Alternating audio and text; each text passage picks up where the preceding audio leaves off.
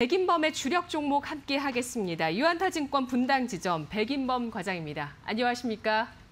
네, 안녕하십니까? 네, 앞서서 LGU 플러스 자사주 매입도 참 눈에 띄는 소식이었는데요. 이제 많은 투자자분들 현금보다는 어떤 좋은 종목에 좀 투자를 해놓을까 관심이 여전하십니다. 어떤 종목을 주력 종목으로 삼아볼까요?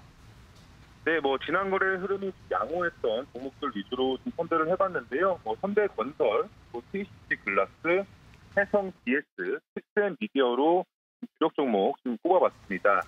어, 바로 이어서 현대건설 바로 말씀을 좀 드리자면 뭐 전일 좋은 흐름 좀 보여줬었던 현대건설 다시 한번 계속 주목을 해보시면 좋을 것 같은데요. 최근 뭐 현대건설 주가 이 건설업종을 이끄는 대표 종목으로서의 역할을 충분히 하고 있는 상황입니다.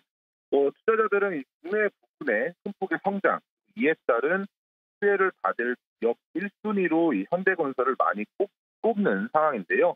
뭐 이미 동사의 1분기 국내 부분 수주만 보더라도 어, 연초 수주 목표가 약 4조 원이었는데 이미 40% 이상을 달성한 점, 그 거기에 2분기 어, 공시로만 나온 기수주한 물량만 고려하더라도 이미 연초 수주 목표의 80% 이상을 달성한 것으로 보여지고 있습니다. 뭐 그렇다면 올해 연간 국내 수주 목표는 초과 달성할 것으로 좀 예상되는 것은 당연한 상황으로 인식을 해보시면 좋을 것 같고요.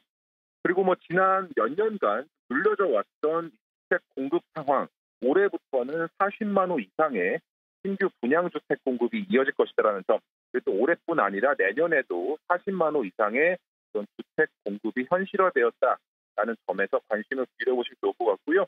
어, 그 외에도 뭐 서울시의 용적률 상향이라든가 이제 3기 신도시 민간 공급 확대 기조에서도 이러한 모멘텀 계속 이어질 수 있다라는 점 인지를 해보시면 좋을 것 같습니다.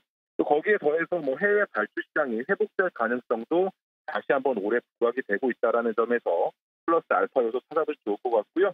그리고 원전 관련 모멘텀에 있어서도 현대건설 어, 플러스 알파적인 기대감이 있다라는 점에서 현대건설에 대한 어, 모멘텀은 유효하게 가져가 보자 말씀드리겠고요. 어, 이어서 이제 KCC 글라스 좀 말씀드리도록 하겠습니다. 어, KCC 글라스 역시도 이제 투자 추이가 우상향을 그리면서 건조한 모습인데요. 어, 이제 주가 변동성은 좀 크지 않으면서 건조한 주가 흐름을 좀 보여주고 있다는 점에서 관심 있게 지켜보시면 좋겠습니다. 그리고 또 최근 이 주가 상승에도 불구하고 밸류에이션 부담은 덜한 상황이다라는 점에서 건자재 업종의 주가 상승과 결을 같이 할 가능성이 높은 종목으로 인식을 해보시면 좋을 것 같고요. 뭐 앞서 현대건설 말씀드렸지만 이 건설 업종과 더불어서 건자재 업종 역시도 동반 호실적을 기록할 것으로 예상이 된다. 그렇기 때문에 업황 호조에 따른 동사의 실적 개선 기대감 역시도 역시 유효하게 가져가 보실 수 있겠다 말씀드리겠습니다. 거기에 인도네시아에 3천억을 들여서 이제 첫 해외 판유리 공장을 건립할 것으로 발표를 했는데 뭐 인도네시아 시장 진출이라든가 장기적으로는 현대기아차 그룹의 매출에 대응하려는 소속으로 판단이 되고 있고요.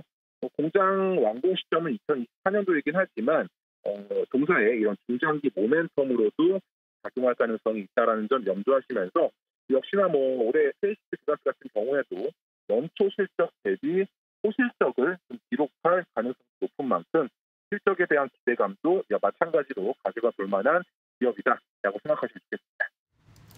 네, 알겠습니다. 의견 잘 들었습니다. 네, 감사합니다.